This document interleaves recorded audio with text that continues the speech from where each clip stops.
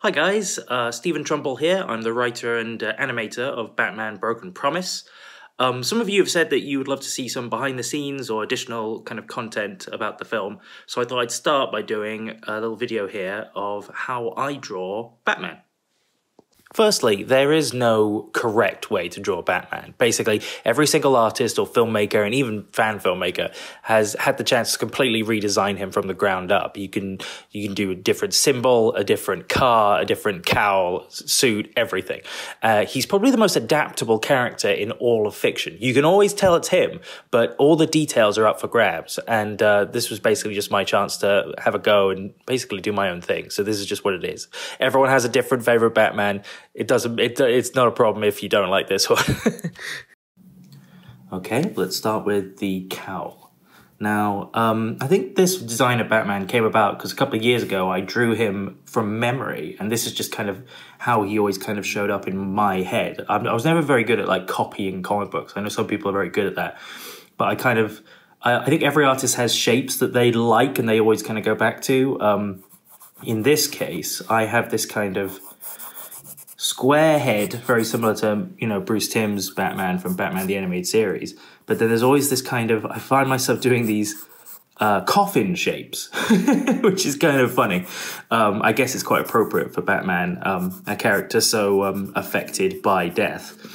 And so there's a lot of straight lines, but then you get to the the cowl shape here when his his uh, mouth. This opening area is quite deliberately coffin shaped um, which is a, quite a deviation from other Batmans that I've seen. Usually the cowl goes kind of up like that, and you kind of see his whole jaw. Often you'll have his, his chin kind of poking out, and you'll see that lantern kind of granite jaw, which works really well in comic books, but I always I, I, like the chin strap. I don't know why. I think it's like I think in Batman Gotham Knight there was a, one of the episodes he had it. He had a very kind of tight, almost like uh, motorcycle helmet style cowl. So um, that's kind of what I wanted. And also, if he gets punched in the jaw in real life, it's not the the the the force of the punch that would knock you out. It's the way that it makes your head spin around and your brain knock into the side of your head. So uh, uh, I kind of just on a logical level, I I like having the the chin strap. Let's give him a mouth here. Always a bit of a scowl. I don't think I've ever actually drawn Bruce Wayne yet. I've just kind of drawn Batman scowling. It would be weird to see Bruce with this expression on his face. Maybe this is why nobody knows um, knows who he is. So here's the nose, and then we go. We have a couple more kind of triangle shapes. We've got this uh, uh, cheekbone here, and another cheekbone there, and then another little triangle here to create like his brow, and then a very square head. And then from there, obviously, we have the scowl. Yeah, bad scowl. Um, a little bit of uh, scowl, frown lines there, but not too pronounced. A little bit of the side of his head.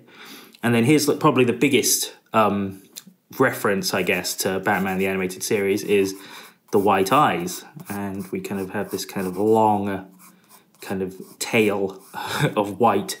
And then this one that's a bit close to the edge is more of a, just a standard triangle. And then uh, from there, we kind of fill it out with shadows. So again, we kind of imagine we've got like kind of top down shadow create this kind of black pit where his eyes should be. And that kind of creates like that, and then the shadow of the nose and the you know the kind of the cowl creates this kind of long shadow inside his head. Um, da, da, da. There's the chin, lantern jaw, very Bruce Timm. and then I like the cowls that are attached to the neck. Like uh, it's it's it wouldn't work in real life. There's a reason why Christopher Nolan redesigned it, but I'm making animation, and so you want. You just, I just love that kind of long, almost animal-like neck, and it creates this very strange silhouette.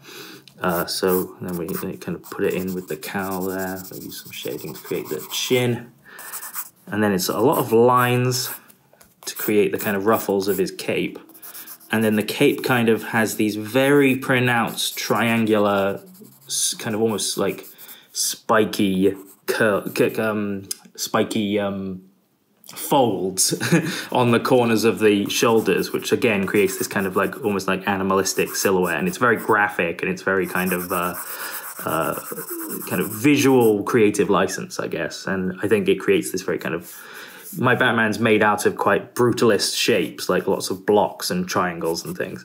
Now here we go. Uh, we're going to go for the ears. Now this is basically just a question of taste. Everyone has a, a, different length of ear that they like. For this one, I didn't go too far outside of uh, the comfort zone, and I went for a very uh, kind of sober Jim Lee kind of medium length.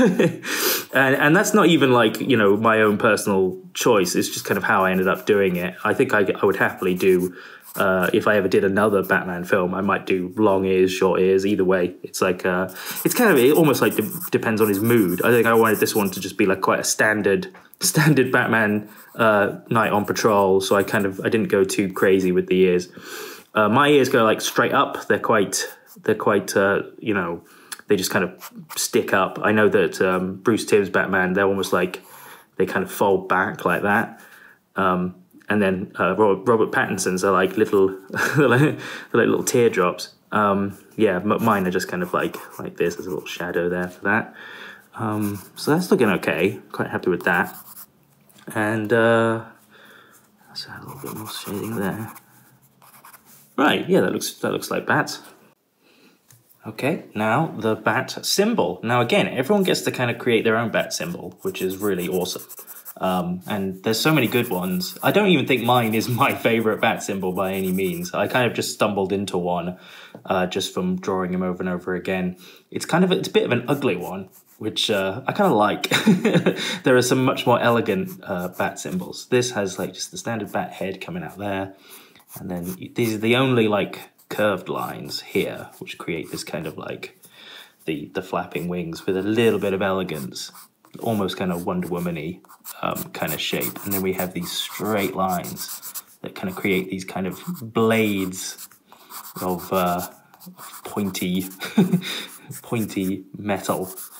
And it creates this shape here, which kind of is very big. It's kind of almost got that kind of uh, uh, uh, Frank Miller Batfleck kind of covering most of the chest. It's like it's it is his chest plate essentially is the whole thing, and that's why it's so big and uh, broad. You know, it's kind of chunky for a reason. It kind of makes sense on a kind of story level, I think. And then if you imagine the top of the chest has got this kind of breastplate as well. This is this is like the same color as as the symbol. So if you imagine the symbol and the top of the chest is all kind of made out of the same material.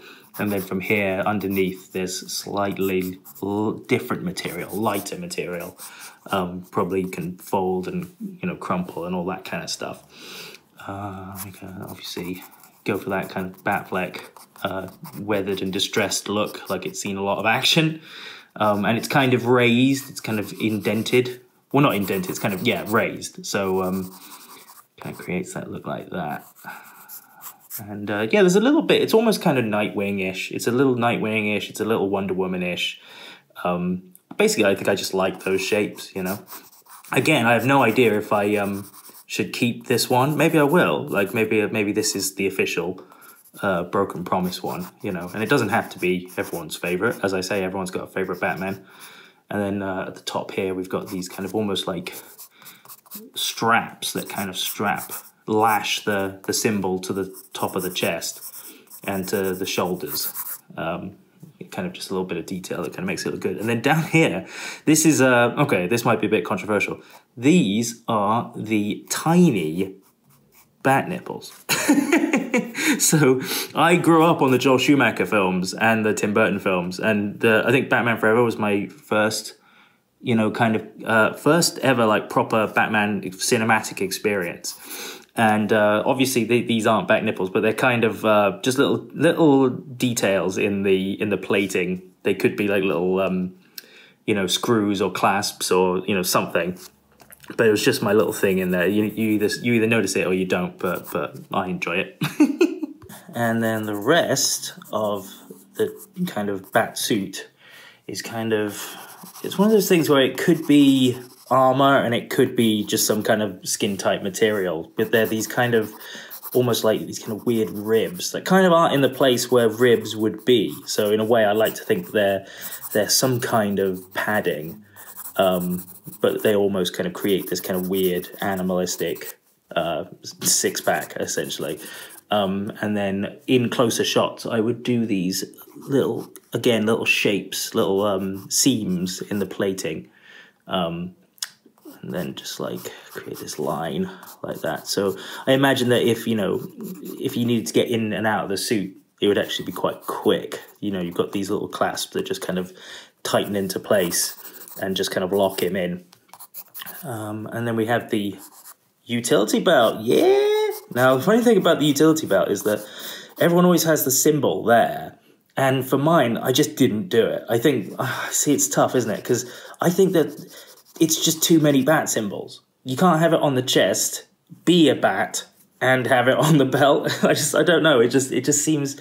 I know everyone loves it, but to me, I just, I, I find it strange whenever he's the way he's accessorized himself. So I've gone for a very standard, just square buckle there, and then you have these kind of plated uh, segments going across, and then some nice big square, chunky, kind of kind of sewn uh, pouches and pockets where he's got a bunch of stuff.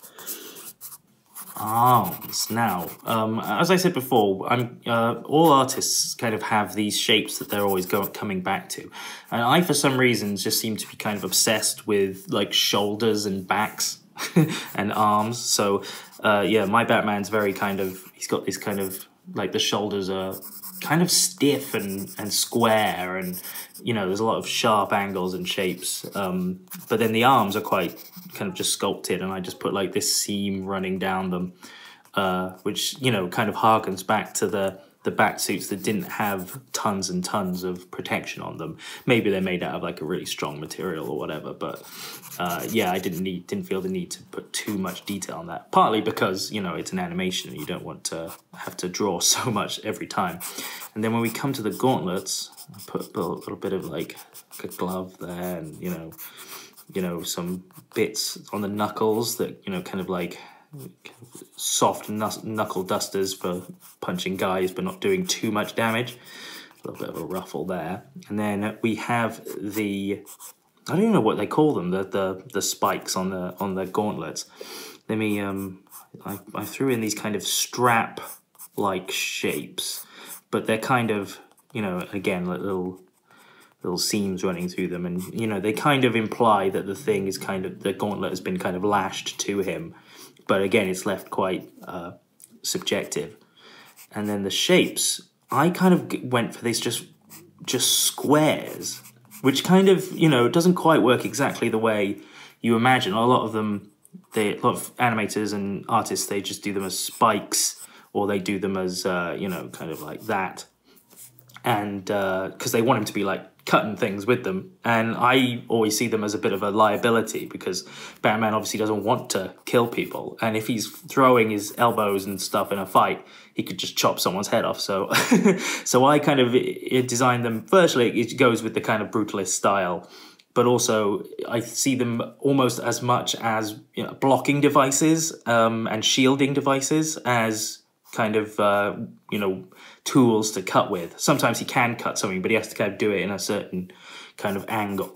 Um, and that's kind of how I went with that. I think it looks good though. I think it's it's it makes for an interesting interesting silhouette. And here we have the grapple gun, which is kind of very influenced by Batman the animated series, where it was just this kind of kind of quadrilateral tube that he would just kind of kind of aim at something and it would go, you know, and just magically take him anywhere he needed to go.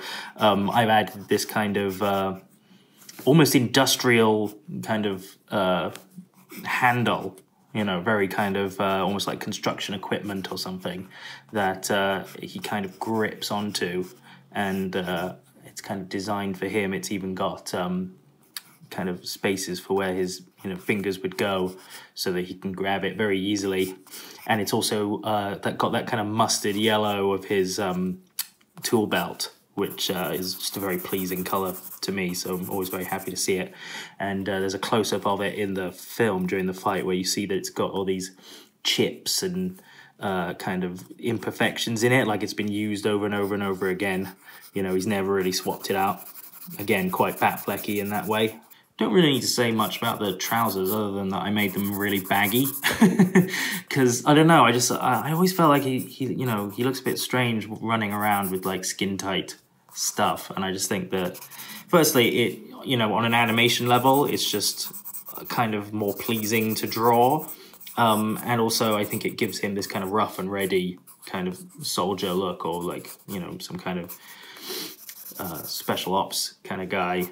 Um, and again, kind of like the arm, like a, a, a seam running down it.